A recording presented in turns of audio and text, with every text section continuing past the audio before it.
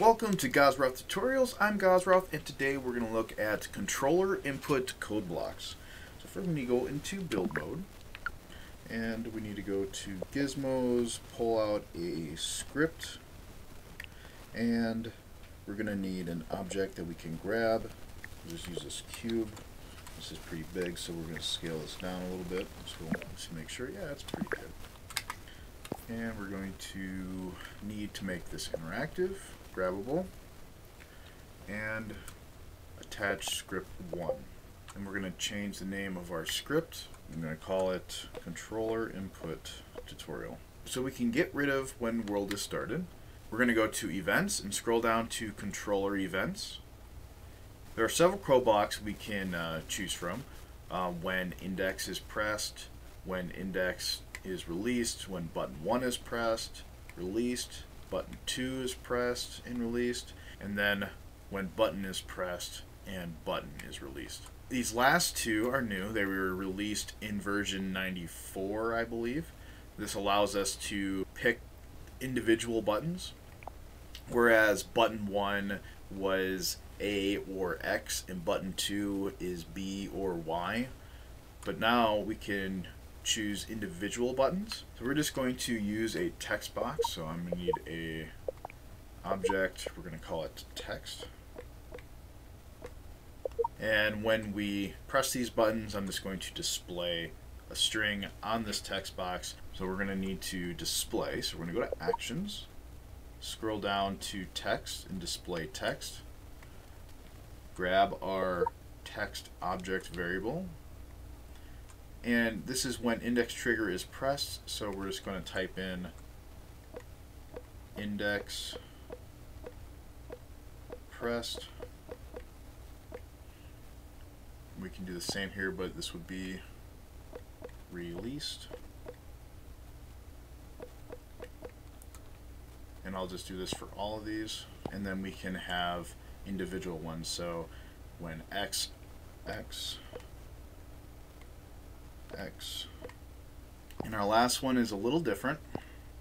It says right thumbstick. Whether you have your jump set to the right thumbstick or A, it's going to say right thumbstick. So if you have it toggled to jump on A, your right thumbstick will fire this code. If you have your jump set to right thumbstick, then A will fire this code.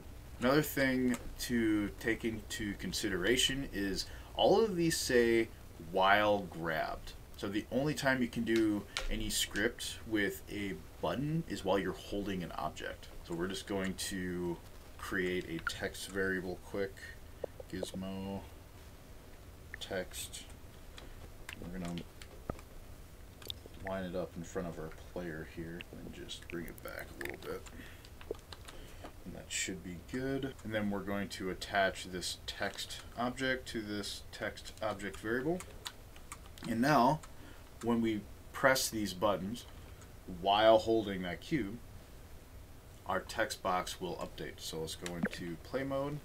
All right, now if I grab it, and I'm going to use my right index trigger, so grab, now it says it's pressed and released.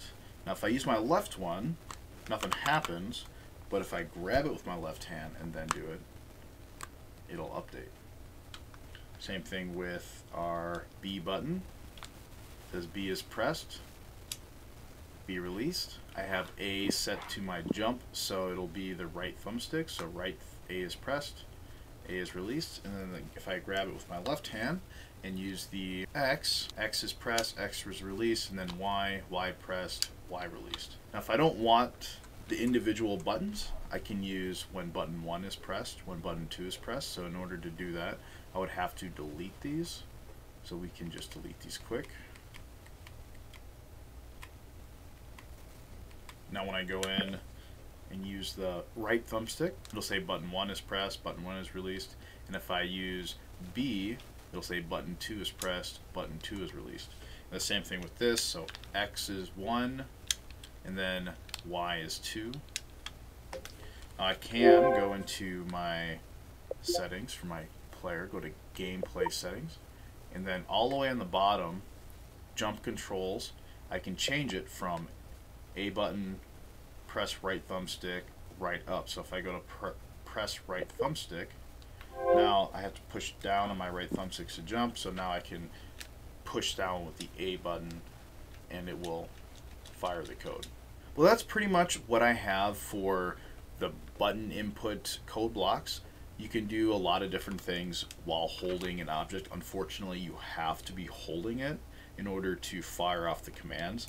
And since we can't get the actual controller scheme of each player, we have no way of knowing if they have it set to A or if they have jump set to the right thumbstick. So that particular set of buttons might cause some issues.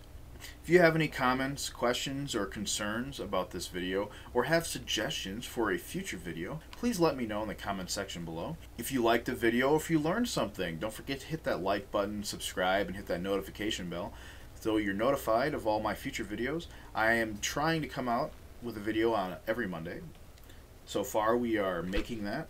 Oh, I'll try to give you a thumbs up. What is going on here? Yeah, it's like a rave going on here. That is giving me a headache. Thanks for watching, and have a good one.